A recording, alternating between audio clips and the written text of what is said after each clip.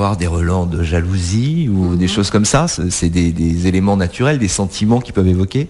Oui, bien sûr, mais en fait, euh, les, euh, les fans de Mylène euh, me voient entre guillemets la fille spirituelle de Mylène. Donc, tout ce qui touche à Mylène est bien pour eux.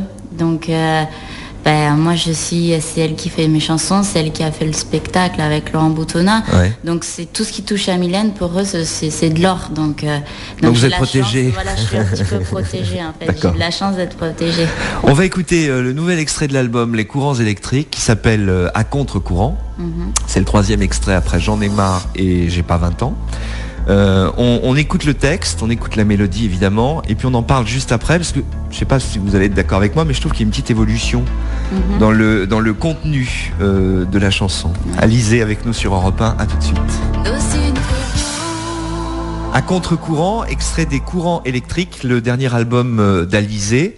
Je parlais juste avant d'écouter euh, cette chanson du texte, enfin je l'évoquais très rapidement, on l'a découvert à l'instant, et, et je parlais d'une évolution, parce que j'en ai marre, c'est une jeune fille adolescente qui dit j'en ai marre de certains points qui sont développés, j'ai pas 20 ans, c'est un constat euh, qui est là encore expliqué, mais dans À contre-courant, quand on se penche euh, sur le texte, on s'aperçoit qu'il y a des, une partie en particulier des, des couplets qui a, qui a une double lecture possible. Oui, comme tous les textes de Mylène. C'est vrai. Euh, mais là, ça, je trouve que c'est plus flagrant que dans Mhm. d'autres chansons qu'elle a écrites pour vous. Bon, évidemment, on a beaucoup parlé de moi Lolita à l'époque, avec le phénomène euh, de Nabokov, etc. Mais euh, là, quand même, quand, euh, quand elle vous fait dire, ou quand vous dites donc euh, que je devine, mets-moi au courant que je devine les intentions, on s'électrise, tension maximale, les corps-circuits de deux amants, Mhm.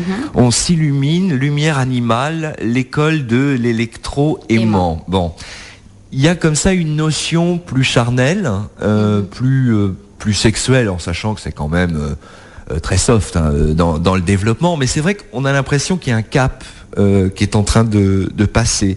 C'est-à-dire que bah, vous sortez de l'adolescence, vous commencez à devenir une jeune femme. Mhm, Je suis encore entre les deux, oui. Ouais, vous êtes encore entre les deux, mais on sent dans le texte, en tout cas celui qui est mis en avant Plus dans, l'album, c'est plus mature. C'est une volonté de votre part ou est-ce que l'équipe qui vous entoure a décidé qu'il était temps euh, justement de, de faire évoluer en quelque sorte votre personnage et votre image. Ben, je pense que c'est un- un- une volonté de tout le monde parce que ben, maintenant ben, j'ai 19 ans et euh, bien sûr je peux pas euh, éternellement chanter les chansons que je chantais quand j'avais 15 ans. Donc je grandis, les chansons évoluent. Dans cet album-là, bon, J'en ai marre, J'ai pas 20 ans, on va dire qu'il y a un petit peu tout. Et bien sûr celle-ci ça doit être celle la plus mature. Mais mais on reste quand même euh, dans le double sens qui est quand Ouais. même euh, un sens pour euh, les enfants et un sens pour les adultes. ça, ça vous gênerait euh, de passer directement à une phase plus euh, plus personnelle, plus féminine, plus engagée dans, une voix comme ça, plus charnelle? Bah oui, parce que euh, j'ai quand même un public aussi d'enfants et d'ados et, euh, bien sûr euh, ils peuvent pas si je change du jour au lendemain, que ce soit de musique ou n'importe quoi, ben, ils s'y retrouvent plus et, puis après ils ont ils ont plus envie de me suivre donc j'essaye d'évoluer. Euh, naturellement, que ce soit dans les chansons ou même moi je, je grandis naturellement, je veux pas grandir trop vite euh, parce que bah, la vie c'est qu'on grandit euh, au fil des jours, au fil des mois et des années.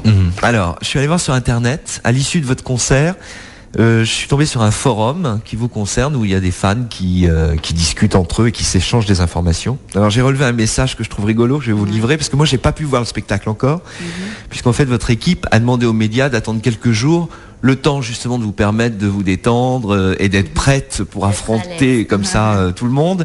Et, et donc dans un premier temps, c'est le, le réel public euh, qui vous voit sur scène. Et alors, euh, donc, je vais vous lire un message parce que je le trouve assez euh, assez rigolo. Je viens d'avoir un ami au téléphone qui m'a donné quelques renseignements sur le concert. Désolé pour ceux qui ne voulaient pas savoir. Je commence par le track listing dans le désordre. De sources sûres, la première chanson est l'Alizé. La dernière, j'ai pas 20 ans. Alors après, il y a tous les titres que vous chantez sur scène, on va pas tout développer. Euh, côté merchandising, on m'a confirmé un petit livre doté de sa signature limitée à 100 exemplaires. C'est un livre, euh, c'est le livre de l'UNICEF, le livre des Je t'aime. Ouais. Euh, donc euh, que je signe, je signe la première page de chaque livre et après c'est vendu et, et comme ça l'argent va à l'UNICEF. D'accord, ils sont bien renseignés. Hein. Mhm. Le programme du concert, évidemment, les t-shirts et casquettes, un poisson clignotant. Oui, c'est un poisson euh, aimanté qu'on peut mettre n'importe où. Euh. D'accord, et un poisson sur scène aussi, hein, je crois. Oui. Hein, c'est ça. Euh, les changements de costume seraient au nombre de 5 voire de 6. Mhm. Alizé a une bonne assurance de voix, visiblement. Elle a beaucoup travaillé, même pendant les chorégraphies. Voilà, je pense que j'ai tout dit et à bientôt donc à l'Olympia. C'est un message euh, je retrouve plus euh, qui a signé ce message. Flaky, je vois, c'est sur le forum Alizé Alliance pour, euh, pour tout expliquer. Vous avez l'impression que vos fans vous suivent comme ça de façon très systématique? Parce que quand on lit sur le forum, j'ai pris un exemple qui parlait du concert, évidemment, parce que c'est l'actualité mais ils récupèrent euh, tous les collecteurs, euh, votre carrière internationale, ils savent tout. Il y a plein de choses. Des fois, moi, euh, quand j'ai le temps, je, vais surfer sur le net et bah, sur les sites, sur les forums, et il y a plein de choses bah, qu'ils savent eux-mêmes avant moi, des, dates de sortie, par exemple, à l'étranger.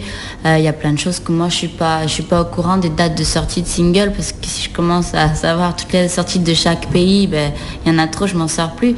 Mais il y a plein de choses qu'ils connaissent avant moi et, c'est impressionnant parce qu'ils connaissent tout, tout, tout. Euh, le single sort en radio euh, un mardi à 17h. Et ben à 18h, le visuel est déjà sur Internet. Donc c'est impressionnant, ils sont très très forts. C'est pas effrayant pour vous ça? Euh, un petit peu, bien sûr, mais tant qu'ils s'attaquent pas à ma vie privée, ça me dérange pas parce que euh, moi je leur donne tout ce que je peux leur donner euh, bah, dans la chanson et tout ça. Et puis après, tant qu'ils se contentent de ça, ça me dérange pas. Votre carrière internationale, vous en êtes où? Parce que je sais que pour le dernier album, il y a eu une version spéciale faite pour l'international avec des titres enregistrés en anglais. J'en ai marre de Viens I'm Fed Up, mhm. ce qui paraît logique. J'ai pas 20 ans I'm not 20, évidemment. Euh, donc il y a une volonté euh, comme ça d'évolution euh, à l'international du fait du succès de Moi Lolita à sa sortie il y a trois ans hein, mhm. maintenant, puisque je crois que vous avez vendu quelque chose comme 4 millions d'albums dans le monde, je crois. 4 millions de disques en tout, 4 millions 5 dans, dans le monde. Hein, c'est ça. là, vous en êtes où alors? Euh, en fait, là, au niveau des, bah, des ventes, euh, je sais pas trop parce que je suis pas trop dans ça. Euh, mais je sais que l'album marche très bien en Europe, notamment bah, bien sûr en Allemagne, parce que l'Allemagne c'est le deuxième pays après la France. c'est là où vous avez le plus de succès après la France. Après la France, c'est l'Allemagne. L'Espagne, l'Italie aussi ont été conquis par le deuxième album et le Japon. Et le Japon, Ça doit être très curieux quand même comme, euh, comme impression. Oui, c'est une autre planète et euh, c'est que ce soit la ville ou les, euh, ou les habitants, tout, tout c'est vraiment une autre planète et quand on y va, on se demande pourquoi on est là, pourquoi ça marche, parce que déjà ils comprennent pas du tout le français, ils, comprennent, ils comprennent un tout petit peu l'anglais et encore. Donc c'est vraiment, on se dit, on est complètement différents et ça, ça leur plaît. vous avez une réponse? Non, j'ai pas de réponse, mais je crois qu'ils sont, ils sont fans des Français. Oui, c'est le charme, euh, français qui les attire. D'accord. Alizé à l'Olympia jusqu'au 4 euh, septembre, donc vous y serez euh, demain soir et dimanche, et puis mardi, mercredi, jeudi de la semaine prochaine. Et puis en tournée dans toute la France au mois d'octobre, au mois de novembre et au mois de décembre. Et je serai au Zénith de Paris aussi le 17 janvier. Ah carrément, c'est une nouvelle date de, prévue. Bah, bonne chance pour la suite alors. Merci beaucoup.